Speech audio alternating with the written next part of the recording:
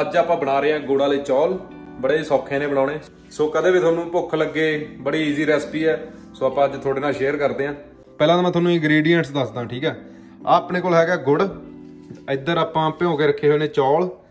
ਤੇ ਚੌਲਾਂ ਦੇ ਵਿੱਚ ਪਾਉਣ ਲਈ ਆਪਣੇ ਕੋਲ ਇੱਕ ਛੋਟੀ ਇਲਾਚੀ ਹੈ। ਜਿਹੜੀ ਛੋਟੀ ਇਲਾਚੀ ਦਾ ਦਾਣਾ ਵਿੱਚੋਂ ਕੱਢ ਲੈਣਾ ਹੈ। ਤੇ ਕੁਝ ਥੋੜੀ ਜਿਹੀ ਆਪਣੇ ਕੋਲ ਸੌਂਫ ਹੈ ਇੱਧਰ। ਦੈਨ ਕੁਝ ਲੌਂਗ ਨੇ ਆਪਣੇ ਕੋਲ ਇੱਧਰ। ਸੋ ਸਭ ਤੋਂ ਪਹਿਲੀ ਚੀਜ਼ ਹੈ ਜੀ ਤੁਹਾਨੂੰ ਪਤਾ ਹੋਣਾ ਚਾਹੀਦਾ ਤੁਸੀਂ ਕਿੰਨੇ ਕੁ ਚੌਲ ਬਣਾਉਣੇ ਨੇ ਠੀਕ ਹੈ? ਸੋ ਉਸ ਹਿਸਾਬ ਨਾਲ ਆਪਾਂ ਵਿੱਚ ਮਟੀਰੀਅਲ ਐਡ ਕਰਾਂਗੇ ਸੋ ਅੱਧਾ ਕਿਲੋ ਚੌਲ ਬਣਾਉਣੇ ਤੇ 300 ਗ੍ਰਾਮ ਗੁੜ ਪੈਂਦਾ ਵਿੱਚ। ਅੱਛਾ। ਹਾਂ। ਸੋ ਜੇ ਆਪਾਂ ਅੱਧਾ ਕਿਲੋ ਚੌਲ ਬਣਾਉਣੇ ਨੇ ਤਾਂ ਉਸ 'ਚ 300 ਗ੍ਰਾਮ। 300 ਗ੍ਰਾਮ ਗੁੜ ਪੈਂਦਾ। ਪਰ ਤੁਸੀਂ ਥੋੜਾ ਬਹੁਤਾ ਵੱਧ ਵੀ ਪਾ ਸਕਦੇ ਹੋ। ਅੰਦਾਜ਼ੇ ਅਨੁਸਾਰ ਪਾ ਦੇ ਆਪਾਂ। ਹਾਂ ਅੰਦਾਜ਼ੇ ਅਨੁਸਾਰ ਪਾ ਰਹੇ ਹਾਂ। ਸੋ ਆ ਦੋ ਕੌਲੀਆਂ ਚੌਲ ਭਿਉਂ ਕੇ ਧੋ ਕੇ ਰੱਖੇ ਸੀਗੇ ਇਹ ਧੋਤੇ ਸੀਗੇ ਚੌਲ ਇਹ। ਇਹਨਾਂ ਤੇ ਇਹ ਦੋ ਕੌਲੀਆਂ ਚੌਲ ਦੇ ਵਾਸਤੇ ਆਪਾਂ ਆ ਇੱਧਰ ਗੁੜ ਲੈ ਲਿਆ। ਇਹ ਗੁੜ ਲਾ ਲਓ ਤੁਸੀਂ 3-400 ਗ੍ਰਾਮ ਹੋਊਗਾ। ਇਹ ਤੁਸੀਂ ਅੰਦਾਜ਼ੇ ਅਨੁਸਾਰ ਲੈ ਲਓ ਤੇ ਇੱਧਰ ਚਾਰ ਕੌਲੀਆਂ ਆਪਾਂ ਪਾਇਆ ਪਾਣੀ। ਠੀਕ ਹੈ ਸੋ ਇਹਦੇ ਚ ਆਪਾਂ ਹੁਣ ਜਿਵੇਂ ਮੰਮੀ ਨੇ ਕਿਹਾ ਆ ਗੁੜ ਨੂੰ ਆਪਾਂ ਇਹਦੇ ਚ ਪਾ ਦੇਣਾ ਤੇ ਇਹਦੀ ਆਪਾਂ ਬਣਾਵਾਂਗੇ ਚਾਸ਼ਨੀ। ਲਓ ਜੀ ਲਓ। ਚਲਾ ਦੇ। ਲਓ ਜੀ ਲਓ ਆਪਾਂ ਚੁੱਲ੍ਹਾ ਜਲਾ ਦਿੰਦੇ ਆ ਸੋ ਮੈਂ ਤੁਹਾਨੂੰ ਦੱਸਦਾ ਮੈਂ ਪਹਿਲਾਂ ਹੀ ਗੁੜ ਭਿਉਂ ਕੇ ਵਿੱਚ ਰੱਖਤਾ ਸੀਗਾ। ਤੇ ਆ ਤਾਂ ਮੈਂ ਤੁਹਾਨੂੰ ਚਲੋ ਦਿਖਾਉਣ ਵਾਸਤੇ ਮੈਂ ਤੁਹਾਨੂੰ ਦੱਸਦਾ ਕਿੰਨਾ ਗੁੜ ਹੈ। ਆ ਹੁਣ ਆਪਣੇ ਬਾਈ ਗੁੜ ਹੈ ਇਸ ਚ ਤੇ ਆਲਮੋਸਟ ਮੈਨੂੰ ਲੱਗਦਾ ਇਹ ਘੁਲਿਆ ਪਿਆ ਠੀਕ ਆ? ਸੋ ਤੋ- ਤੁਸੀਂ ਕੜਛੀ ਮਾਰ ਕੇ ਦੇਖ ਲਓ ਵੀ ਜਦੋਂ ਗੁੜ ਘੁਲ ਗਿਆ ਵਿੱਚ। ਬਸ। ਇਹਦੀ ਚਾਸ਼ਨੀ ਬਣਾਉਣੀ ਕੀ ਕਰਨਾ? ਅੱਛਾ। ਬਸ ਇਹ ਚਾਸ਼ਨੀ ਬਣ ਗਈ ਬਈ। ਇਹ ਚਾਸ਼ਨੀ ਨੂੰ ਆਪਾਂ ਕੋਈ ਤਾਰ ਤੂਰ ਨਹੀਂ ਬਣਾਉਣੀ ਇਹਦੀ। ਉਦਾਂ ਦਾ ਕੁਝ ਨਹੀਂ ਕਰਨਾ। ਸੋ ਇਹ ਸਿੰਪਲ ਬਸ ਜਦੋਂ ਗੁੜ ਘੁਲ ਗਿਆ ਪਾਣੀ 'ਚ ਤਾਂ ਆਪਣਾ ਗੁੜ ਵਾਲਾ ਪਾਣੀ ਤਿਆਰ ਹੈ। ਸੋ ਇੱਧਰ ਆਪਾਂ ਬਈ ਕੜਾਈ ਜ਼ਰੂਰ ਹੋਣੀ ਚਾਹੀਦੀ ਆ ਤੁਹਾਡੇ ਕੋਲ। ਆਪਾਂ ਪਾ ਲਿਆ ਦੇਸੀ ਘਿਓ ਜੀ। ਅੰਦਾਜ਼ੇ ਜੇ ਨਾਲ ਮਤਲਬ ਕੜਛੀ ਕੁ ਪਾਇਆ ਆਪਾਂ। ਤੇ ਹੁਣ ਆਪਾਂ ਚਲਾ ਦਈਏ ਹੀਟ ਇੱਕ ਤਾਂ ਯਾਰ ਆ ਜਿਹੜੇ ਕੈਨੇਡਾ ਵਾਲੇ ਚੁੱਲ੍ਹੇ ਲੈਣਾ ਇਲੈਕਟ੍ਰਿਕ ਇਹਨਾਂ ਦਾ ਹਿਸਾਬ ਜਿਹਾ ਨਹੀਂ ਆਉਂਦਾ। ਚਲ ਮੈਨੂੰ ਤਾਂ ਆ ਗਿਆ ਹੁਣ, ਇੰਨਾ ਟਾਈਮ ਹੋ ਗਿਆ। ਮੰਮੀ ਨੂੰ ਥੋੜਾ ਜਿਹਾ ਹਿਸਾਬ 'ਚ ਉਹ ਹੋ ਰਿਹਾ। ਸੋ ਜਦੋਂ ਘਿਓ ਗਰਮ ਹੋ ਜੇ, ਵਿੱਚ ਆਪਾਂ ਪਾਉਣਾ ਲੌਂਗ, ਠੀਕ ਆ? ਸੋ ਲੌਂਗ ਆਪਣੇ ਕੋਲ ਤਿਆਰ ਨੇ ਇੱਧਰ। ਲਓ ਜੀ, ਘਿਓ ਗਰਮ ਹੋ ਗਿਆ, ਵਿੱਚ ਆਪਾਂ ਛੱਡ ਦਈਏ ਲੌਂਗ। ਨਾਲ ਆਪਾਂ ਵਿੱਚ ਪਾ ਦੇਣੀ ਆ ਸੌਂਫ। ਇਹ ਪਾਤੀ ਜੀ ਸੌਂਫ ਆਪਾਂ ਵਿੱਚ। ਸੌਂਫ ਵੀ ਤੁਸੀਂ ਅੰਦਾਜ਼ੇ ਅਨੁਸਾਰ ਲੈ ਲਿਓ। ਕਿ ਜਦੋਂ ਥੋੜੀ ਜਿਹੀ ਬਰਾਊਨ ਜਿਹੀ ਹੋ ਗਈ, ਅੱਧਾ ਕੁ ਮਿੰਟ 1 ਮਿੰਟ ਬਸ। ਤੇ ਹੁਣ ਆਪਾਂ ਪਾ ਦਈਏ ਵਿੱਚ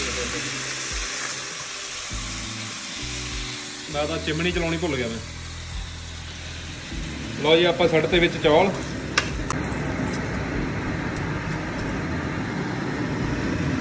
ਹੁਣ ਅਗਲਾ ਸਟੈਪ ਹੈਗਾ ਜਿਹੜੀ ਚਾਸ਼ਨੀ ਆਪਾਂ ਤਿਆਰ ਕੀਤੀ ਸੀਗੀ ਗੁੜ ਵਾਲਾ ਪਾਣੀ ਉਹ ਆਪਾਂ ਵਿੱਚ ਪਾ ਦੇਣਾ ਹੈ। ਪੁਣ ਕੇ ਪੁਣ ਕੇ ਥੋੜਾ ਜਿਹਾ ਮਿਕਸ ਕਰ ਦੋ। ਇਹਨੂੰ ਹੁਣ ਆਪਾਂ ਰਝਾਉਣਾ ਹੈ। ਮਿਲਾਦਾ ਇਹ ਲੈਣਗੇ ਘੱਟੋ ਘੱਟ 15 ਕੁ ਮਿੰਟ ਤਾਂ ਲੈਣਗੇ ਹਨਾ? 15 20 ਮਿੰਟ। ਬਾਕੀ ਵਿੱਚ ਆਪਾਂ ਖੋਲ ਕੇ ਦੇਖ ਲਾਂਗੇ ਵਿੱਚ ਵਿੱਚ। ਇੱਕ ਚੀਜ਼ ਹੋਰ ਦੱਸਦਾ ਜਿਹੜਾ ਵਲੌਗ ਬਣ ਰਿਹਾ ਆਪਣਾ ਇਹ ਮੇਰਾ ਫੋਨ ਤੇ ਬਣ ਰਿਹਾ। ਵੈਸੇ ਮੈਂ GoPro ਮੇਰੇ ਕੋਲ 7 ਹੈ ਜਿਸ 'ਚ ਮੈਂ ਮੋਸਟਲੀ ਆਪਣੀਆਂ ਸਾਰੀਆਂ ਵੀਡੀਓਜ਼ ਬਣਾਉਣਾ ਪਰ ਯਾਰ ਹੁਣ GoPro 7 ਅਲਵਿਦਾ ਕਹਿਣ ਦਾ ਟਾਈਮ ਆ ਗਿਆ। ਸੋ ਮੈਂ ਉਹਨੂੰ ਵੇਚਣ ਤੇ ਲਾਇਆ ਹੈ ਤੇ GoPro 9 ਜਿਹੜਾ ਹੀਰੋ 9 ਉਹ ਆ ਗਿਆ ਮਾਰਕੀਟ ਦੇ ਵਿੱਚ। ਸੋ ਮੈਂ ਬਾਈ ਕਰਨ ਦੀ ਸੋਚ ਰਿਹਾ ਕਿਉਂਕਿ ਉਹਦੇ ਚ ਜਿਹੜੇ ਫੀਚਰਸ ਵਗੈਰਾ ਨੇ ਉਹ ਕਾਫੀ ਵਧੀਆ ਨੇ। ਤੇ ਹੋਪਫੁਲੀ ਮੈਂ ਉਹਦਾ ਵੀ ਇੱਕ ਵਲੌਗ ਬਣਾਉਂਗਾ ਤੇ ਦੱਸੂਗਾ ਤੁਹਾਨੂੰ ਉਹਦੇ ਫੀਚਰਸ ਵਗੈਰਾ ਯੂਜ਼ ਕਰਕੇ ਨਾਲੇ ਵੀਡੀਓਜ਼ ਦੇ ਕਲਿੱਪਸ ਵਗੈਰਾ ਵੀ। ਹਾਂਜੀ ਚੌਲ ਰਿੱਝੇ ਪੈ ਗਏ। ਬੇਬੇ ਇੰਨੀ ਸਲੋ ਨਾ ਬੋਲੋ। ਐ ਲਓ ਜੀ ਜਿਹੜੇ ਚੌਲ ਨੇ ਰਿੱਝ ਰਹੇ ਨੇ ਹੁਣ ਖੁਸ਼ਬੂਆਂ ਬੜੀਆਂ ਲਾਟਾਂ ਕਿਆ ਲਾਟਾਂ ਆ ਰਹੀਆਂ ਨੇ ਖੁਸ਼ਬੂਆਂ ਆਏ ਹਾਏ ਹਾਏ ਹਾਏ ਸੌਂਫ ਦੀ ਖੁਸ਼ਬੂ ਲਾਚੀ ਦੀ ਖੁਸ਼ਬੂ ਬਣਨ ਵਾਲਾ ਟਾਈਮ ਆਪਾਂ ਤੁਹਾਨੂੰ ਚੰਗੀ ਤਰ੍ਹਾਂ ਦੱਸ ਨਹੀਂ ਸਕਦੇ ਸੋ ਹੁਣ ਮੈਂ ਟਾਈਮ ਨੋਟ ਕਰ ਰਿਹਾ ਤੇ ਉਸ ਤੋਂ ਬਾਅਦ ਹੀ ਦੱਸੂਗਾ ਕਿੰਨਾ ਟਾਈਮ ਲੱਗਿਆ ਇਹਨਾਂ ਨੂੰ ਹਾਂ ਹੁਣ ਇੱਕ ਚੀਜ਼ ਰਹਿ ਗਈ ਆਪਣਾ ਲਾਚੀ ਦਾਣਾ ਸੀ ਜਿਹੜਾ ਉਹ ਤਿਆਰ ਹੈ ਲਾਚੀ ਦਾਣੇ ਨੂੰ ਆਪਾਂ ਵਿੱਚ ਛੱਡ ਦੇਣਾ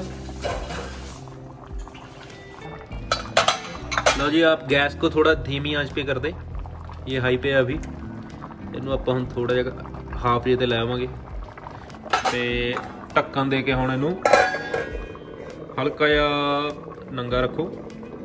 ਢੱਕਣ ਦੇਤਾ ਹੁਣ ਇੱਕ ਸਾਈਡ ਤੋਂ ਤਾਂ ਕਿ ਥੋੜੀ ਪਾਣੀ ਬਾਹਰ ਨਾ ਉਛਲੇ, ਜਦੋਂ ਸਟੀਮ ਕਾਫੀ ਬਣ ਜਾਂਦੀ ਹੁੰਦੀ ਆ। ਸੋ ਇੰਨਾ ਇੰਨਾ ਕੁ ਠੀਕ ਹੈ ਲਓ ਜੀ, ਵਿੱਚ ਥੋੜੀ ਥੋੜੀ ਸਿੱਪੀ ਵੀ ਮਾਰਦੇ ਰਿਹਾ ਕਰੋ। ਸਿੱਪੀ ਕੀ, ਜੋ ਵੀ ਕੜਛੀ, ਜੋ ਵੀ ਤੁਸੀਂ ਕਹਿੰਦੇ ਇਹਨੂੰ, ਤਾਂ ਕਿ ਆਪਾਂ ਨੂੰ ਪਤਾ ਲੱਗੀ ਜੇ ਕਿਤੇ ਥੱਲੇ ਨਾ ਲੱਗਦੇ ਹੋਣ। ਵੈਸੇ ਤਾਂ ਪਾਣੀ ਹੈਗਾ ਕਾਫੀ, ਸੋ ਥੱਲੇ ਨਹੀਂ ਲੱਗਣੇ ਚਾਹੀਦੇ।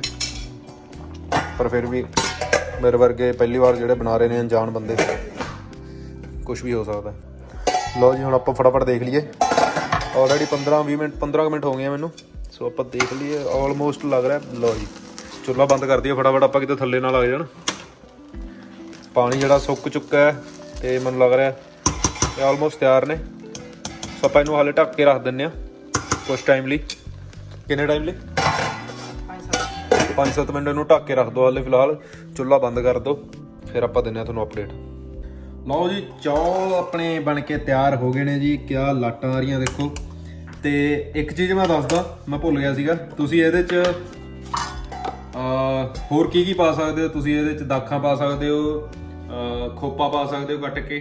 ਤੇ ਅਸੀਂ ਤਾਂ ਕਾਲੀ ਚ ਚਲੋ ਬਣਾਤੇ। ਮੈਨੂੰ ਲੱਭਿਆ ਨਹੀਂ ਸੀ, ਪਰ ਮੈਨੂੰ ਹੁਣ ਆਹ ਇੱਕ ਕ੍ਰਸ਼ ਕੀਤਾ ਹੋਇਆ ਨਾਰੀਅਲ ਖੋਪਾ ਮੈਨੂੰ ਲੱਭਿਆ। ਸੋ ਮੈਂ ਸੋਚ ਰਿਹਾ ਇਹਨੂੰ ਐਂਡ ਤੇ ਆਪਾਂ ਪਾ ਲੈਂਦੇ ਆ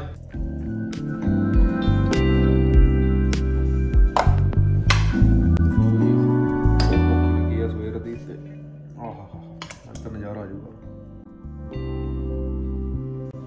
ਆਹਾ ਨਜ਼ਾਰਾ ਆ ਗਿਆ। ਮੈਂ ਕਹਿੰਦਾ ਬੜੇ ਚਿਰ ਬਾਅਦ ਗੋਲ ਵਾਲੇ ਚੌਲ ਖਾਦੇ ਆ ਮੈਂ। ਤੁਸੀਂ? ਬਣਾਇਓ ਤੇ ਮੈਨੂੰ ਵੀ ਦੱਸਿਓ ਕਿੱਦਾਂ ਦੇ ਬਣੇ ਆ। ਤੇ ਬਾਕੀ ਮਿਲਦੇ ਆਪਾਂ ਤੁਹਾਨੂੰ ਅਗਲੇ ਵਲੌਗ 'ਚ। Take care